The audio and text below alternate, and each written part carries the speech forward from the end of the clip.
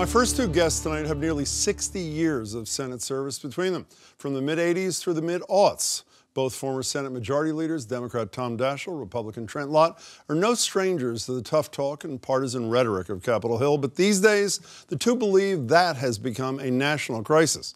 Hence the title of the great new book, Crisis Point Why We Must and How We Can Overcome Our Broken Politics in Washington and Across America. But before I introduce the pair of political peacekeepers, let's call them, I don't want you to think it's always been a bipartisan love fest.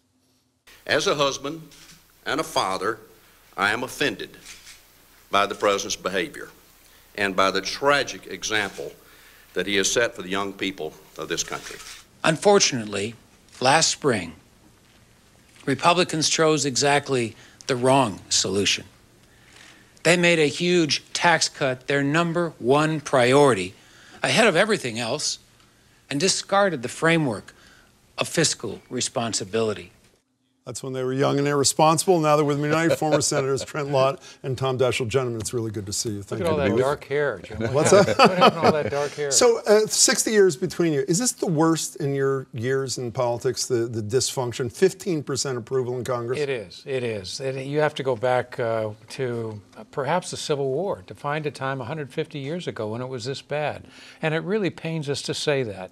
Uh, we don't want it to be that. There are things that have caused it. We think that it's been gradual. There's not been one thing that triggered it, but things are really bad and we've got to fix it. I want to get to the causes in just a second, Senator Lott, but are you guys blameless? I mean, you did the impeachment thing. You blocked Bush nominations when a lot of people said you got to let the president have it. Were you at least part of the problem in your time? I know you respected each other. I know you talked to each other. Were you or we no? Don't, we don't profess purity. Uh-huh. Uh, we had our philosophical and, and political disagreements, and sometimes we overplayed our hand. But we also, and we went through a lot of difficult things, some of which were beyond our control, like 9 11 and the anthrax sure. attack and the 50 50 Senate. But in spite of our, our, mistakes, which we made, and the difficult times that we dealt with, those things, we got results. We kept focusing on, okay, how can we move this bill or that bill, whether it was a budget, a defense issue, or even basic things like safe drinking water. Before we talk about the problem and solutions, speaking of impeachment, briefly tell what happened, a phone call you got just a couple days after you voted to impeach your president. Well, we had to do, and first of all, we didn't create that. Uh, the, uh, he was impeached by the House. We that. had to act on that. Understood. We had a constitutional responsibility. And we tried very hard. And Tom, and this is where we did work together.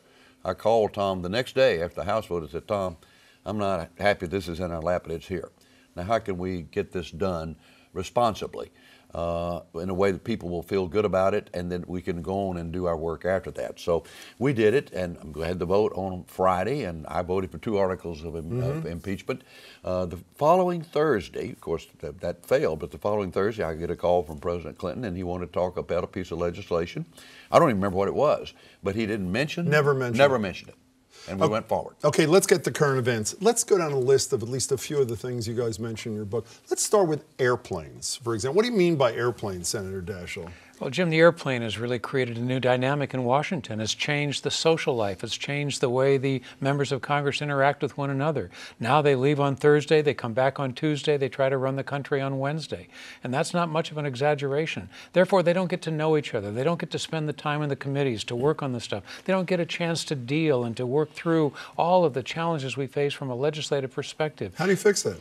Well, I think what we've got to do is create five day work weeks again to say, look, the airplane is always going to be there, but you can only use it on Saturdays and uh, not on Thursdays. You've got to spend the whole week, Monday through Friday, legislating. Couldn't Harry Reid have month. done that when he was majority leader or Mitch McConnell now? Just say you work Monday to Friday, you go home well, Friday at 3 o'clock. Yeah, and Paul, Paul, Ryan could do it, and I think he will, and I'm, I'm, pushing that, the new Speaker of the House of Representatives. Uh, it was just about maybe four years ago when uh, they changed that in the House. Uh, Eric Cantor was the uh, majority leader at the time. And get this, they went to two weeks on and two weeks off. And, you know, and, and the Senate was doing, I guess, three weeks on and one week off, but they were only working, you know, like two days. You can't do that. And the job is in Washington. Being a legislator uh, is not something you can just do on the side. You got to work at it. But But if they were just going home, it'd be one thing. What they're doing more and more is raising money. They're all over the country raising money, going to fundraisers, dialing for dollars. Money is driving a big part of the Well, schedule. that's number two, Melissa. So what do you do to fix that? There's a First Amendment. We know where the Supreme Court is on those. How do you fix the money problem? Well, I think we've got to find ways to, to incent, to encourage. We want to see if we can find constitutional ways to limit the amount of time Like on what? campaigns. Like what? Well, how about not raising money while you legislate? That's that's actually established in a lot of states today. You can't fundraise and legislate in the same time. And you think the Supreme And- Court would buy that? Well, they haven't denied it in the states. It's going on in the states as we speak. You think money's a solution, a problem too, but when yeah. you watch television a couple nights ago and you hear that Sheldon Adelson, a Dorchester kid from Boston, now owning the Sands and more, wants to figure out who to give 20, 30, 40, 50 million dollars, and because of Citizens United, he can. You think they were on firm ground with Citizens United, don't you? How do you ever fix the money mess Well, without fixing that? Well, you know, look, uh, there's some people who say, okay, we need to find a way to, to limit the money, uh, you know, and uh, how you do that without limiting speech under the Supreme Court decision. Basically, I agree with the decision, but there are some things I don't like. I'm, I'm very concerned about the super PACs, the amount of money they have, and who, who gives to those super PACs, and the fact, by the way, uh, they they get involved in candidates' campaigns, sometimes to their own candidates' dismay and dislike. So one of the things that we we suggest, we, it's no use arguing about what we can't do. Constitutional problem is the real one. Now, it doesn't mean you shouldn't try to do it, but the process is long and difficult. So what is another way to do this thing? Uh, we, we you know we recommend things like uh, how about a single primary day to cut down on this thing we're going through right now, where it goes on and on and on, beginning with Iowa and winding up with who knows where. Michigan. But doesn't that benefit the, the Trumps of the world and the Hillary Clinton? Hillary Clinton's your candidate. I know you're a John Kasich supporter. Yeah. Doesn't it support the people who are the richest to be able to compete everywhere on day one?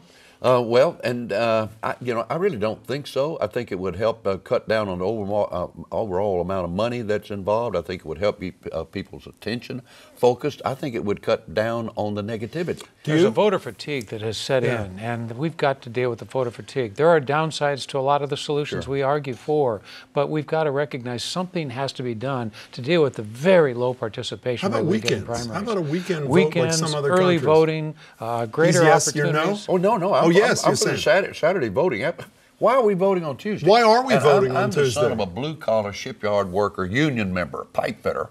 And he went in that shipyard early and he got off late and he was dirty. He'd been, been inhaling asbestos. And then he had to go home and clean up and get to the polls and vote before they closed, which in those days I think was like 6 o'clock.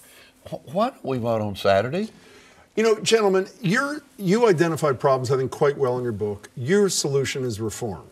The solution of a huge swath of the American people is Donald Trump. Why are they wrong and you're right? Why isn't a Trump, I don't just mean Trump, I mean the generic Trump. Why isn't Trump the answer? Well, uh, first of all, I just don't uh, buy the uh, outsider argument. Do I like the idea of businessmen and women being involved? Yeah, I do. Uh, I'm a lawyer, but I think you know it'd be good if we had m- more non-lawyers uh, in the Congress.